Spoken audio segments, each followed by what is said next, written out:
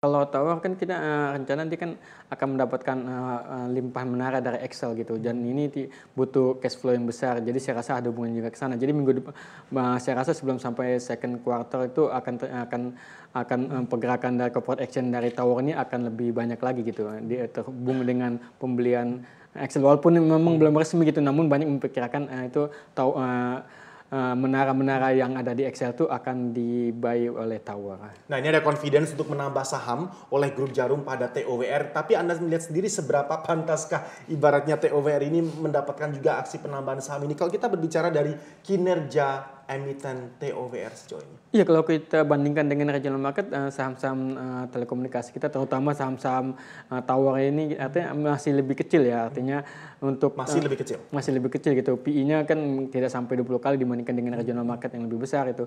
Kalau kita lihat perhatikan tower itu tidak sampai 19,8, artinya masih hmm. di bawah 20. Tebik apalagi itu uh, tebik emang lebih besar, hanya saya rasa dengan dengan value dibandingkan luar masih tetap lebih kecil. Jadi artinya dari valuasi dan juga pergerakan kedua juga dengan investing grade-nya kedua yang kita lihat lagi adalah oh buat dia berkembang ataupun growth-nya itu masih besar sekali di saham-saham tower ini.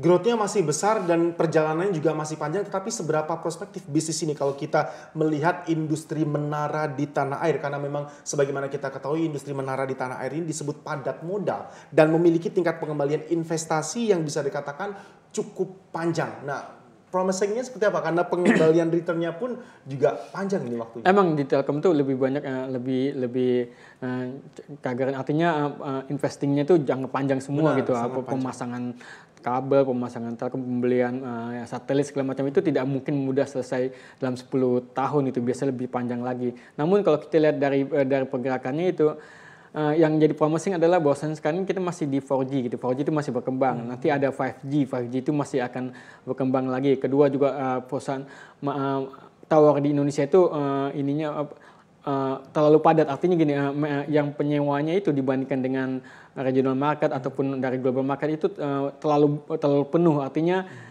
kita bandingkan dengan uh, dengan USA gitu. Kalau kita Indonesia tuh satu tower tuh sekitar 2.900-an um, uh, ini yang penyewa gitu. Namun dibandingkan USA nggak sampai 1.000 gitu. Kalau tidak salah sekitar 936.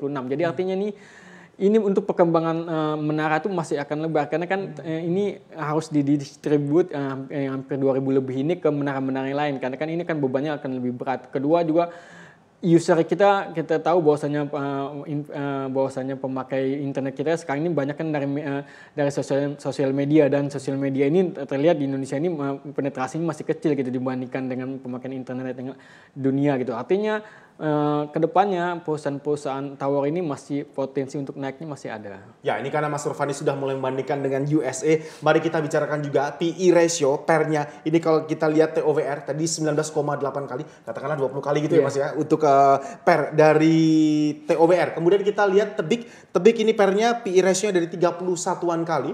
Kalau kita bandingkan dengan Amerika, katakanlah tadi ada American Tower. American Tower itu memiliki per di 70-an kali untuk PE ratio dari American Tower. Kemudian ada Crown Castle. Crown Castle-nya PE ratio-nya ada di 83 kali, jauh lebih tinggi kalau kita bandingkan dengan Tower maupun TBIG. Ini dibandingkan dengan emiten menara di luar, emiten Tower dan Tebik sebenarnya masih cukup cukup rendah. Tapi seberapa atraktifkah mereka pergerakannya di pasar akhir-akhir ini, Mas? Tower dan Tebik. Kalau tower masih atraktif ya, volume masih terjaga, pergerakan eh, pergerakan saham juga masih uptrend,